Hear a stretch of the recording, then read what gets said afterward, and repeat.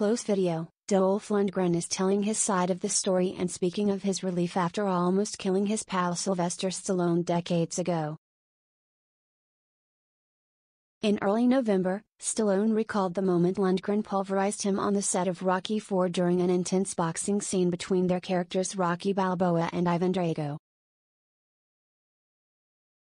I didn't feel it in the moment but, later that night, my heart started to swell, my blood pressure went up to 260 and I was going to be talking to angels, Stallone recalled in a YouTube video. Next thing I know I'm on this emergency, low altitude flight. I'm in intensive care surrounded by nuns. Lundgren's thunderous punch to Stallone's chest proved to be a near fatal experience for Stallone, who is now one of the Swedish actor's closest friends in Hollywood. In a new interview with Fox News Digital, Lundgren admitted it was a pretty serious situation, I was 10 years younger and in very good shape those days and we ended up hitting each other quite hard. When we wrapped in Vancouver where we shot the last fight he ended up in the hospital. I think he was off for about two weeks, Lundgren recalled. Despite the gravity of Stallone's emergency, Lundgren insisted action film actors are prone to taking hits here and there. You know, we all end up incurring all these injuries being an action star. I suppose that was one of the more interesting ones has been a part of, Lundgren said with a chuckle. I'm glad he made it. Good for me.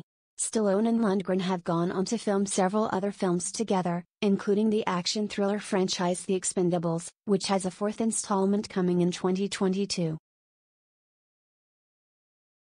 The towering fitness enthusiast said his near knockout of Stallone is still something the two joke about today.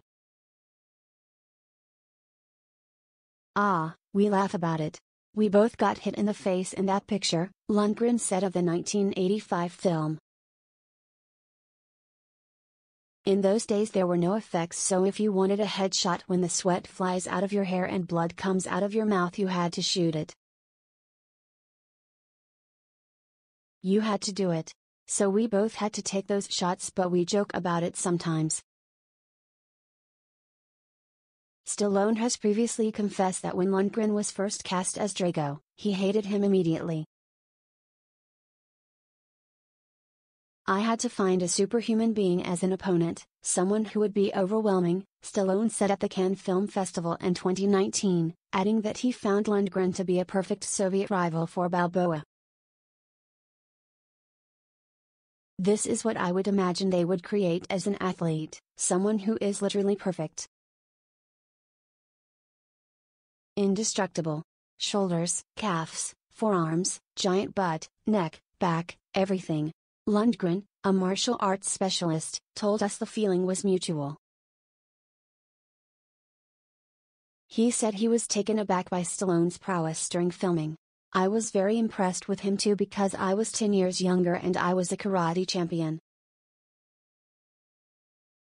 I was used to fighting for real, and he kept up, and I remember at the time I was impressed that he was in that good of shape. Stallone released the Ultimate Director's Cut of Rocky IV back on November 12 which features never before seen footage of the cult classic.